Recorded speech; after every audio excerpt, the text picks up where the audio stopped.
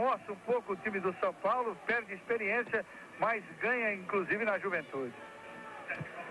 Vamos ver o São Paulo, vamos ver o São Paulo com balinha, dominou bem.